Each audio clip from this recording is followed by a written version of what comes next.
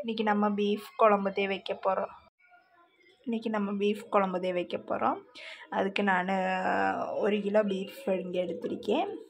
நல்லா கழுவி எடுத்து வச்சுருக்கேங்க. இது நம்ம எப்படி குழம்பு வைக்க போகிறோன்னு பார்க்கலாம்.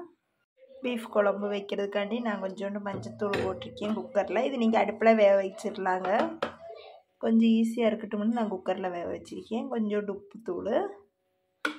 இதுவும் போட்டு நல்லா மிக்ஸ் பண்ணி நம்மளுக்கு கொஞ்சோண்டு தண்ணி ஊற்றி வேக வச்சு எடுத்துகிட்டு வந்துடலாம்.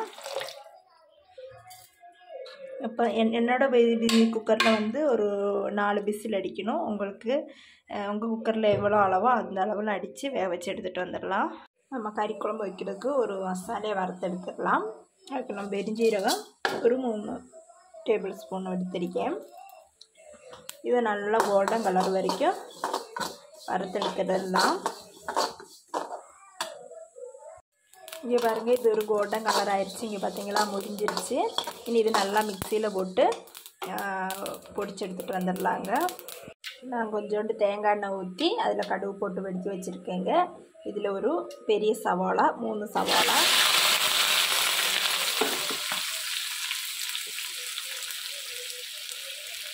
இன்னும் பெரிய சவாலா. ஒரு அஞ்சாறு பச்சை மிளகா.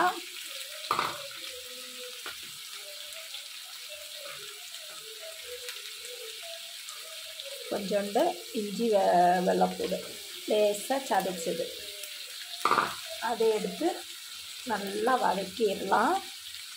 இல்லை கொஞ்சம் அதுலேயே கொஞ்சோண்டு தேங்காய். அரைமுடி தேங்காய். கொஞ்சோண்டு கருவேப்பிலை. இதை போட்டு நல்லா வதக்கிடலாங்க.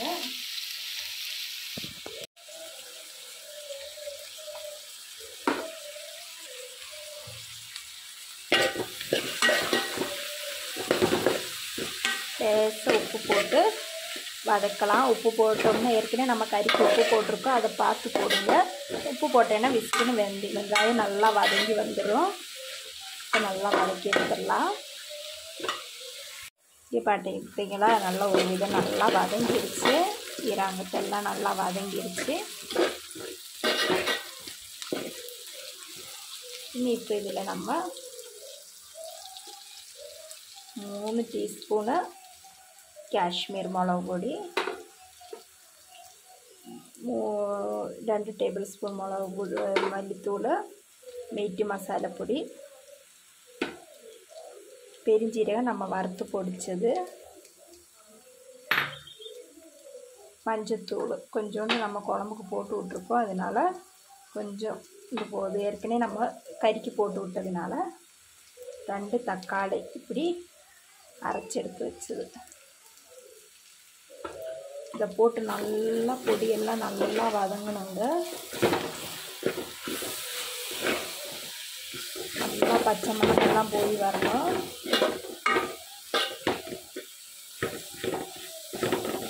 நல்லா வதக்கி எடுக்கணும். ஏன்னா அவ்வளோ டேஸ்டியான ருசியான ஒரு குழம்பு நீங்கள் கண்டிப்பாக ட்ரை பண்ணி பார்க்கணும்.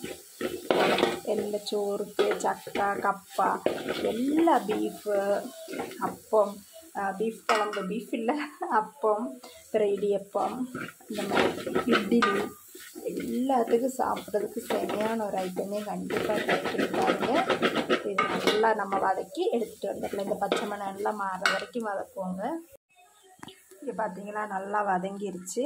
நல்ல ஒரு பச்சை மணம் எல்லாம் போயிடுச்சு நம்ம எந்த குழம்பு வச்சாலும் பச்சை மணம் போகணுங்க. இல்லை எப்போ தாங்க நம்ம குழம்போட ருசி தெரியும். அப்போ நம்ம பீஃப் இங்கே பாருங்கள் நல்லா வெந்திருக்கு. இதை ஊற்றி விட்டுடலாம்.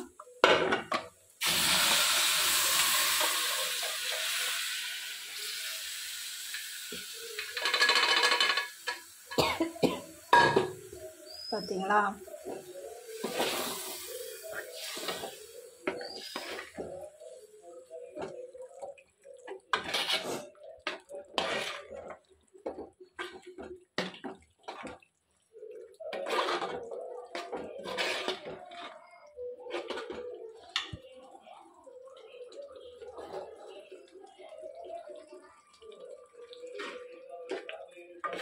பார்த்திங்கன்னா நல்லா குழம்பு பீஃப் எல்லாம் நல்லா வெந்த பீஃப் தே. அப்போ இதில் நல்லா இந்த மசாலா பொடி பிடிச்சா போதும்.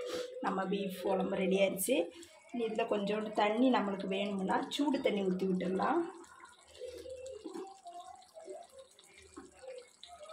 கொதிக்க இனி நம்மளுக்கு தண்ணி வேணும்னா கொதிக்க வச்ச தண்ணி தான் அங்கே ஊற்றி விடணும். இன்னும் கொஞ்சம் சாருக்காண்டி இதில் பிடிக்கலாம் வேணும் அப்போ வத்திரும். இல்லை மசாலா எல்லாம் இதில் பிடிக்கணும்ல பீஃப் குழம்புல பிடிக்கும் போது இது வத்திரும். அதனால் குறுகிடும் அப்போ நான் இது கொஞ்சோண்டு தண்ணி ஊற்றி விட்டுருக்கேன். இங்கே வரங்க சைடில் எல்லாம் எப்படி என்ன மிதக்குதுன்னு பார்த்தீங்களா? நெய் எல்லாம். நல்ல டேஸ்ட்டு அவ்வளோ டேஸ்ட்டாக இருக்குங்க. எனக்கு ரொம்ப பிடிக்கும். இப்போ கண்டிப்பாக நீங்கள் ட்ரை பண்ணி பாருங்கள் உங்களுக்கு பிடிச்சிருந்து இந்த மற்றவங்களுக்கு ஷேர் பண்ணாங்களாம் மறந்துடாதீங்க அடிக்கடி என் வீடியோவில் பகுதி முக்கால்வாசி இதாக இருக்கும். நீங்கள் எதுன்னு எனக்கு தெரிச்சிடாதீங்க இதே இவ என்ன இதே பேசிக்கிட்டு இருக்கான்னு நினச்சிடாதீங்க அப்போ பீஃப் குழம்பு வெரைட்டியான ஒரு பீஃப் குழம்பு ரெடி ஆயிடுச்சு இன்னி கொஞ்சோண்டு கருவேப்பிலை இந்த மேலாக தூவி விட்டுட்டு நல்லா அடைச்சி வச்சு நல்லா மசாலையெல்லாம் பீஃபில் பிடிக்கிற வரைக்கும் வேக வச்சு வந்துடலாங்க நம்ம திறந்து பார்க்கலாம். ரெடி ஆயிடுச்சான்னு இந்த பாருங்க எண்ணெய் எல்லாம் தெளிஞ்சு நல்லா ரெடி ஆயிடுச்சு பார்த்தீங்களா இவ்வளோ அழகாக இருக்குங்க. நல்லா கலர்ஃபுல்லாக நல்லா திக்காக குழம்பு. பாருங்க நல்லா திக்காக இருக்குது இருந்த தேவையான அளவுக்கு சாரும் இருக்குது அப்போ குழம்பு நல்லா ரெடி ஆகிடுச்சு நான் இடையில திறந்து கிண்டி விட்டு உப்பு இருக்கான்னு பார்த்துட்டிங்க. உப்பு இல்லாட்டி தண்ணி எடுத்து போட்டு விட்டுடலாம். நான் கொஞ்சோண்டு கருவேப்பிலைய செஞ்சு விட்டுருவேன் இப்போ நம்மளோட பீஃப் குழம்பு ரெடி ஆயிடுச்சு. இனி நம்ம இதை மூடி வச்சிடலாம்.